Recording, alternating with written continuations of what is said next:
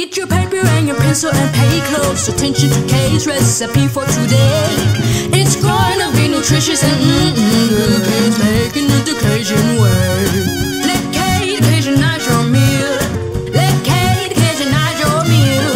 Make time every day to cook with Kade. Let Kade Cajunize your meal. Welcome back to and Kade. Today we're gonna make some shrimp and avocado egg rolls. It's gonna be awesome. Stay tuned. This is a really simple recipe, really. Um, what what you're gonna need is some uh, sautéed shrimp. All I did was saute it with some butter, uh, some seasonal, and some crab boil. Uh, you're gonna need some egg roll wrappers, Himalayan salt, I have a little bit of water right here so that I can dip my finger in it and seal the egg roll wrappers.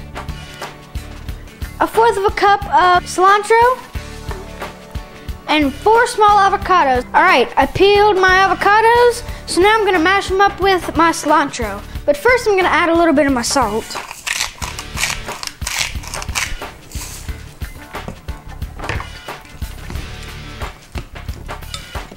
Make sure you get just one egg roll wrapper. Put it down. You want to put a little scoop of your avocado mixture. Put about four shrimp. This is very important. So it doesn't unwrap while you're frying it. You want to stick your finger in some water and then you want to put it all around the edges so that it doesn't un unfold.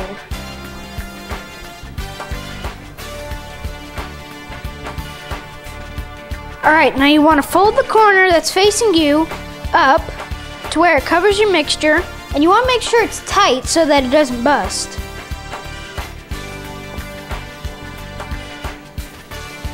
Fold these two corners in, and then roll it up.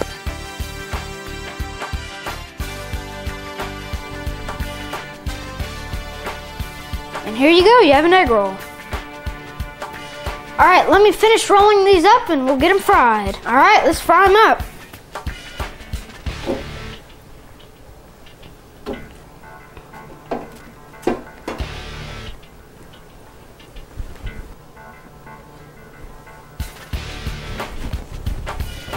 Are you paying attention? I got all my egg rolls fried, so while they're cooling off, I think I'm gonna make a cilantro ranch dipping sauce to go with it. All right, we're gonna get half a cup of sour cream, half a cup of mayo, half a teaspoon of salt, one teaspoon of minced garlic,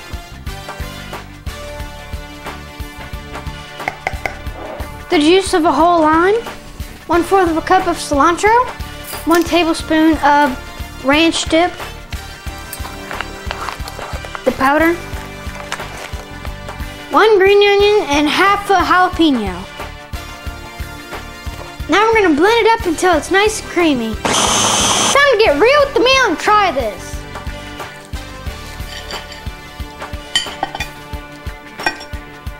This is what you want inside.